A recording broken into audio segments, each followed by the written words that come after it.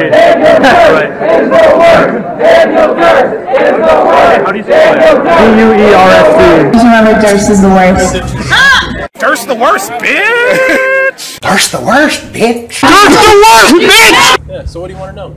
Like, what will the apocalypse look like? Or, like, what did you call it? The The, the, well, so that's the thing. Judgment Day, that's what you Yeah. called it. No, on the day of judgment, yeah. Because so there's a time where God will judge the earth, right? That's in Revelation, right? The Bible says that Jesus is going to come, that all, all eyes are going to see him, every eye will see him, and that he's going to come with all the heavenly hosts and that he's going to destroy the world.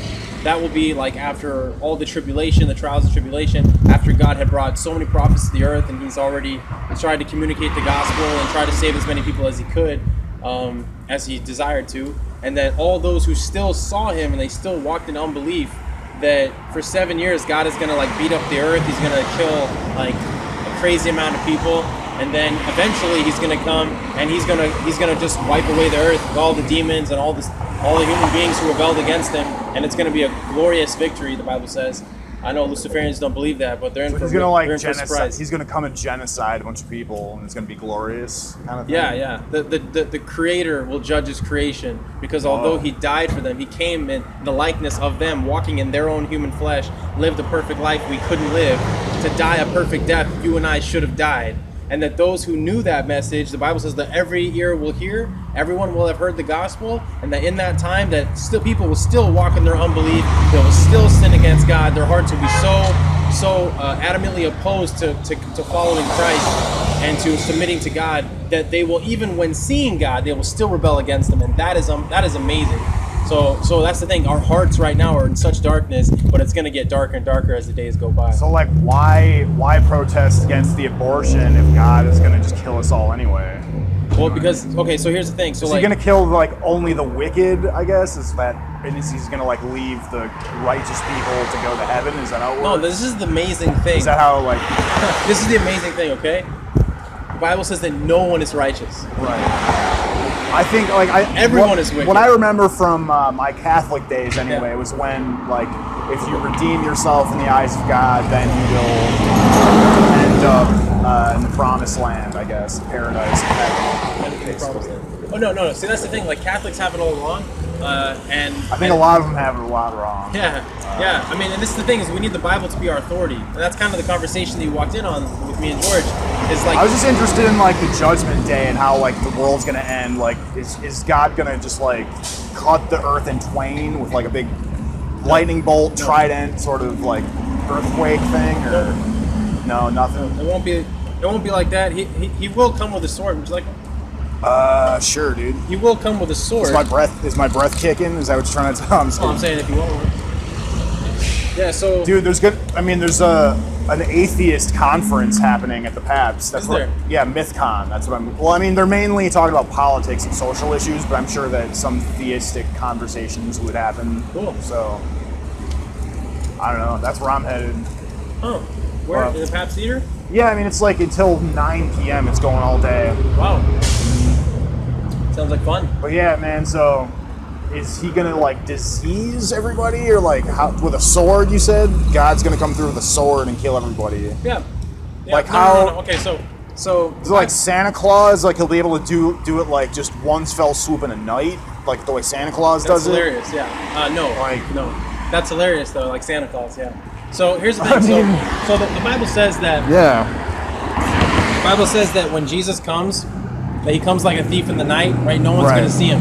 Right, right, right. So maybe like Santa Claus. I, I don't know about the myth. That's Santa sort of Claus. what that's sort of what Santa Claus did does. Like he's Does sort he? of like yeah. Oh, In for real? one night, you know, I mean, we all know. In one night, he goes through the entire world giving presents to I know it's amazing. everybody. So God would be kind of doing the same thing. Well, in the sense that he'll But with come, death. he'll come like a thief in the night.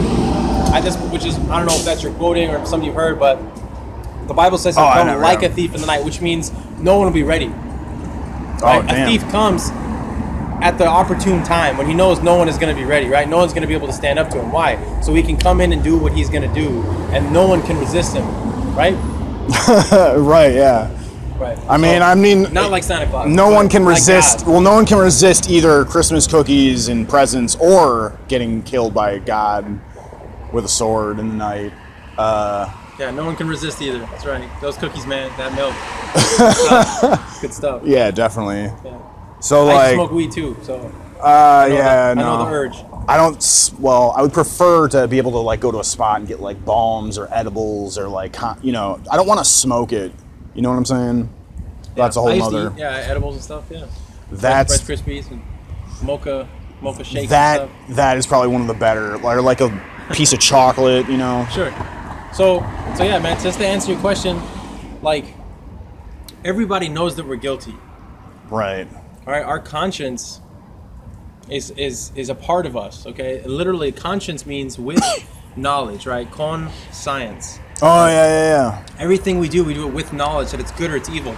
So, like human beings are, we're not beasts, right? We're not beasts. We are something far far more advanced. Some are the beast. beastly. Some human Totally. beings can get beastly with Totally, it. Totally, yeah, yeah.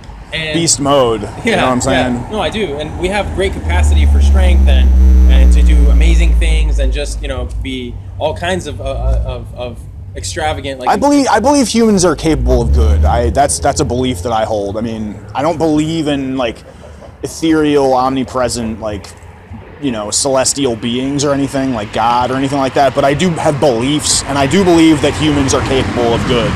But I also believe they're capable of shitty things. Yeah. So how are you, You know? defining? Well, before I before we define good and evil, it's essential. To It's question, vague. I mean, how it's do we it's, know? It's wishy-washy what good and evil can mean depending on the situation, isn't it? You know, No, well, that's the thing, right? it's it's it's like so innocent Jews were were taken from houses and they Right. were put into internment camps. They were starved. My ancestors, okay. Right. And then here we have a building where women who, after living a sexually promiscuous lifestyle or something horrible happens to them, they make a choice to go and to put that baby to death. right. Yeah. So my question to you is, ethics, is it like a compass? Is it like is it like no matter I have no which, idea. which which way we turn, it's always going to be true north, right? There is always the right thing to do, but we always want to veer away from it, or is it like a clock, where it just depending on the on the age and the era that we're always determining. It's like a spectrum, I guess. right. It's like a gradient sort of thing. but how do we account for this knowledge? Uh, just I guess our own intuition. Like like what I would not want to happen to me is how I more or less structure like a moral system. You know what I mean? Like if I like I obviously would not want to be run over by a car, so I I in turn would not want to run over somebody else with a car. You know what I'm saying? It's No, it's sort of like a empath- empathetic uh, Do unto others as you would have done unto you. the golden rule, which does predate Christianity. I mean, I'm not I'm not like a theologian or any or historian or anything, but I know that. But uh, yeah, the golden rule sort of thing. That that's that's how that that would be like a good moral structure. I'm really distracted by all of the stimuli around you here. want to turn here? no, I mean it's like it's it's funny. Like yeah, I probably shouldn't have blazed before I left the house though. That, that, that does play a role, doesn't it? I definitely it, it it sparks these sort of like deep conversations though. Yeah. But just know this, man. Like in your spirit, Yeah. like you have a Is this spirit. even is this even getting y'all? I don't even know. You have a spirit, okay? You have a Yeah. soul. Now, I didn't know I had a soul. My entire life, I did what my parents told me to do. Both my parents are ex-cocaine addicts. Oh, bummer, Yeah, dude. Both my parents are, are sex addicts. Like I lived, Oh, I, grew. I grew up in California, so my whole life, my whole experience has been telling me to like get as much sex as you can, right? Like smoke weed, like party, like be the man, right? Like like get that girl's attention, get that girl's affection, you know, like be be a player, be a jock, be all kinds of things. Right. And the crazy thing is, I succeeded. I succeeded at everything that I wanted, and still I wanted to kill myself. Right, yeah, a lot of that's a lot of those pursuits are sort of hollow a little oh, bit. Ladies, why are you here? Are you here? Because this is our job. That's why. I is not job. don't care. I'm a neutral. I'm neutral here. I don't Y'all know. willing to pay us then? No, Miss Miss. They used to. I'm they used neutral, to yo. People. they used to- we still parents at the end So of the day. So why are you recording though? Because Why it's are you here? You're murdering Why are you babies. here? I'm here because I want to. go to record other people. I want to Right. dissuade. I want to dissuade women not to kill their children. Why are you guys here? But wait a minute, you were just repping the how you were just repping like God was gonna cut people with a sword, dude. Yeah, Why is that okay, but because not? God, because God is God. We can't say God. Well, that's appeal to authority, man. Yeah, it is an appeal to authority. God is the highest authority. Therefore, He. Well, that's do- a fallacy, He though. created That's, us. that's a logical God fallacy. He is creator, not creation. It's not. How is that a fallacy? Because it doesn't follow that because he created us, he can just morally destroy us. Says who? That's well, that doesn't follow logically. It's not. Says who though? Is that your phone? If I destroy your phone, am I wrong for that? Yeah. If you destroy your phone, are you wrong for that?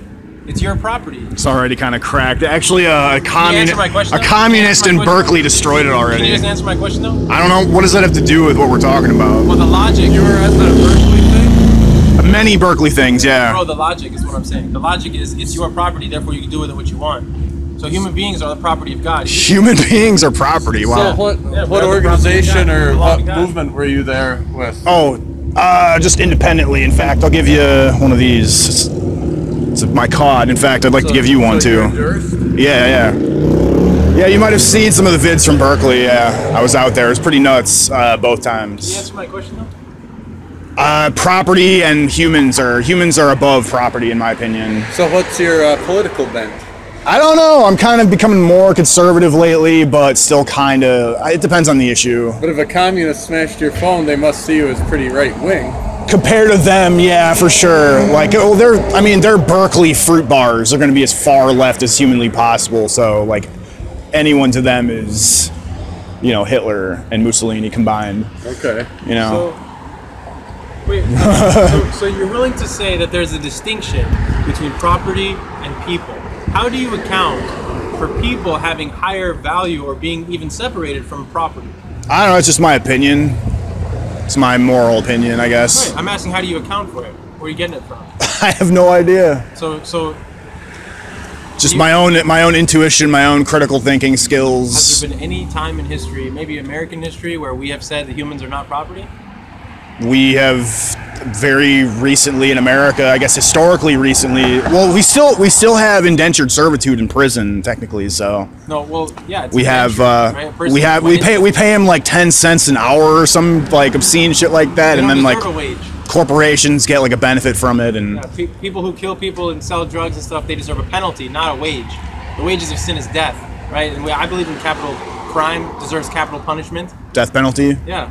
So, so, and I don't think you would disagree. So, isn't it funny how God can determine whether or not He's going to bring death to somebody, but you might say, well, yeah, God can determine death for people, but you're looking at them as property. Well, isn't that amazing how you don't think that these people are worthy of the capital punishment, but you're not even willing to consider what the capital crime is, that God is bringing that punishment to them in order to receive? There was the guy who was premeditating. He was gonna like abduct children in like a lair in his basement and like sort of eat, and like eat them after killing them. I would say that that dude is pure evil, and I would consider the death penalty for that guy.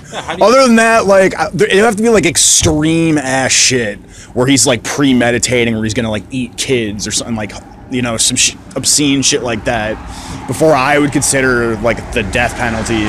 But as a general rule, I oppose the death penalty because I would just. Re- I mean, like I do understand the idea of removing that element from society, but we can just sort of put them in like a cell and be done with that. In my Wait, opinion. So, but is that justice?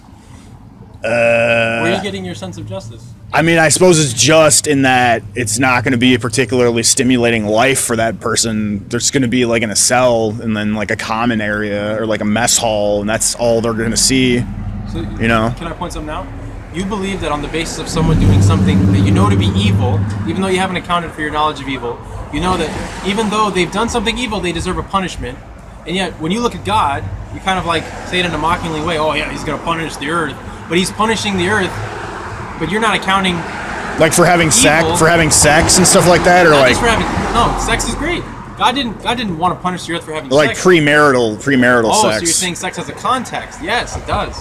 That's what I'm saying. See, so like people are going to get beheaded for people are going to get beheaded by God for having premarital sex. they're going to get beheaded. I know they're going to be judged. I know that they're going to die when they're on the earth. And by the way, by that time, it's going to be so bad, dude. You're not even going to want to be on the earth. The eating children is going to be the least of your problems. It's Just that one or like a few guys have tried to do or have done that. Yeah. Yeah. Did you ever hear about Sodom and Gomorrah in the Bible?